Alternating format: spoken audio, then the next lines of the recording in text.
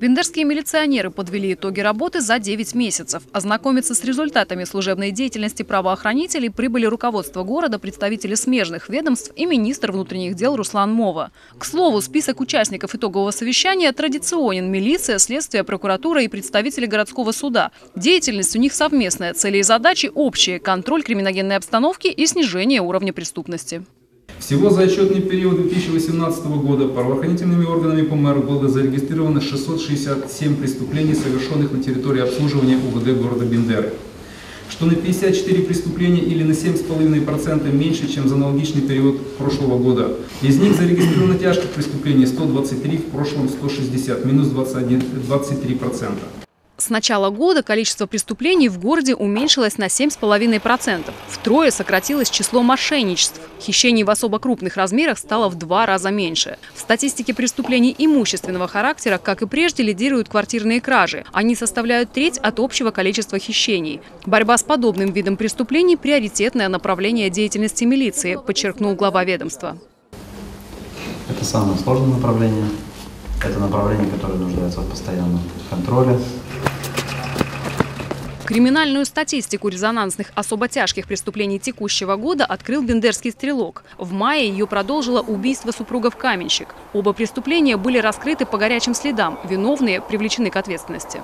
Значительных успехов сотрудникам милиции удалось достичь в борьбе с экономической преступностью в сфере уклонения от уплаты налогов. Возмещенный ущерб, причиненный недобросовестными предпринимателями, исчисляется миллионами. Есть некая положительная динамика, она очень хорошо отражена в цифрах. Возмещаемость ущерба 3,5 миллиона. Я вам скажу, что вы обогнали Тирасполь в два раза. Это очень хорошая положительная динамика. Но э, город Бендер очень специфический город, и здесь есть над чем работать. В лучшую сторону изменилась ситуация среди несовершеннолетних правонарушителей. Число подростков, состоящих на учете в инспекции по делам несовершеннолетних, уменьшилось на 25%. В два раза сократилось количество преступлений, совершенных несовершеннолетними. Положительную тенденцию отмечают сотрудники Бендерского ГАИ. С начала года общее количество дорожно-транспортных происшествий снизилось на 60%. С августа за безопасностью на дорогах инспекторам-мужчинам помогают следить леди в погонах. На связи.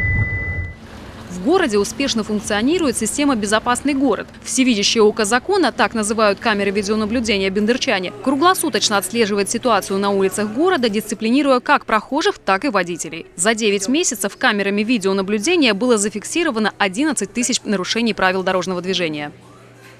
В завершении итогового совещания глава ведомства напомнил, что самым важным критерием оценки деятельности милиции продолжает оставаться доверие граждан. Оно прямой показатель эффективности работы правоохранителей. Как можно меньше совещаний, как можно короче эти совещания, как можно больше эффективности. Наша главная задача не количество возбужденных уголовных дел. Наша задача – соблюдение тех правил, которые предъявляет закон. Обратиться к руководству ведомства можно и напрямую. 25 октября Руслан Мова проведет прием граждан в Управлении внутренних дел города Бендеры. Правоохранительные органы открыты для диалога.